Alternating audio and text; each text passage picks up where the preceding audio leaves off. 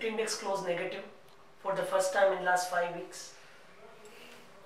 However, it got stuck in a range of 100 points between 95.50 to 96.60 kind of levels.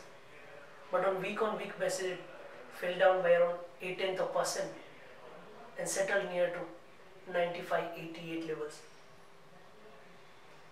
We have seen some time and price correction in the market after the sharp rally in last couple of weeks. However, major trend of the market is positive, but because of the limited upside and the sustained call writing from the FNO front, the market is finding pause in its momentum. In the last week, US FOMC raised its key rate by 25 bips to 1.25% and also announced plan to pay bond holding after this year. Bank of Japan kept policy rate unchanged. Looking at the macroeconomic data, inflation is now at 5 years low levels. Crude price remains at $47 per barrel. Now the price of petrol and diesel will be decided on daily basis and recently the price cut down by 1.12 and 1.25 rupees per liter respectively for petrol and diesel. Talking about the liquidity front, FIs were net sellers to the tune of around 2000 crore while DIs were buyer of the same amount. So in the market, FIs are missing and that is the reason that follow is also not happening in the market but sustained support from the DIs is keeping the major trend of the market intact to positive. Looking at the key event next week, we have Euros region and US manufacturing and PM service PMI number that is going to release on this Friday. Recently GST Council meeting held to decide tax rate on couple of businesses. So GST is a buzz and government is very keen to start or implement it from the July 1st.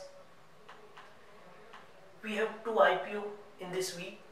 One is the CDSL which is going to raise around 525 crore worth of money while Eris Lifesciences which IPO worth rupees 1700 crore.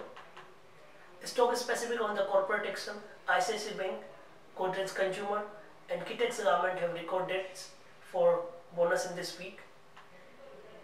Looking at the overall macro, micro and the price sentiment, lower crude prices, stable INR, strong domestic flow, better than expected monsoon and progress on GST are couple of positive things but absence of major event will keep the market on range bound.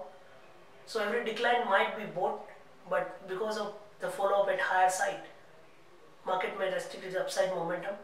And same we have witnessed in the last week when Nifty traded in a range of around 100 points. Technically, on the weekly chart, market made a small bodied candle, which indicates that bulls and bears both are not ready to lose their grip on either side. However, it witnessed a pause and corrected by around 8 tenth of percent but major trend of the market and the sustained buying from the DIs is keeping the buying interest alive at lower levels. On the option front, we have seen maximum put open interest at 95 and 9600 strike. That is likely to support the market on declines. While on the upside, sustained call writing at 9700 strike may restrict its upside to 9700 to 9750 level. So overall trading range might be in between 95.20 to 9700 or 9750.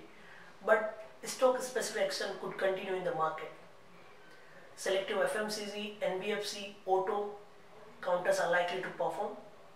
Bank Nifty might outperform because selective private bank started to aid some buying attraction. So again, after the small correction, we are all set for the consolidation and if Nifty manages to surpass 9700, 9750, then only we may step towards 10,000 kind of level. But as of now, as per all the database, consolidation is a key word in the buzz of all the traders. Thanks.